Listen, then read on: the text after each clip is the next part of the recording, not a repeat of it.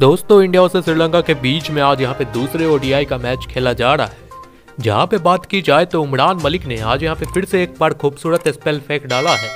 जी हाँ दोस्तों, उमरान मलिक ने यहाँ पे सात ओवर में चालीस रन देकर दो विकेट झटक लिए, जिसमें उन्होंने एक गेंद तो इतनी तेज फेंकी कि सामने के बल्लेबाज इस गेंद को पढ़ ही नहीं पाए। दरअसल मैं आपको बता दूँ कि उमरान मलिक ने आज के इस मैच में दो ऐसे बल्लेबाजों को यहाँ पे रास्ता दिखाया है पवेलियन का। इन दो बल्लेबाजों में पहले जो बल्लेबाज यहाँ पे देखने को मिले उनका यहाँ पे नाम था वनिंदु हसरंगा। जी हाँ दोस्तों, वनिंदु हसरंगा को यहाँ पे उमरान मलिक टी ट्वेंटी से ही परेशान करते नज़र आए हैं।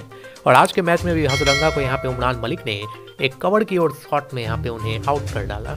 इसके बाद बात की जाए तो दूसरे बैट्समैन यहाँ पे चमी का करुणा रत्ने थे, जो कि बेहतरीन यहाँ पे फॉर्म में दिख रहे थे, लेकिन उमरान मलिक को यहाँ पे थोड़ी बहुत शॉट्स उनको पड़ी थी, लेकिन फिर भी उन्होंने करुणा रत्ने को बेहतरीन गेंद डाली और अक्षर पटेल के बेहतरीन कैच के बदल उमरान मलिक को यह भी विकेट मिल गया।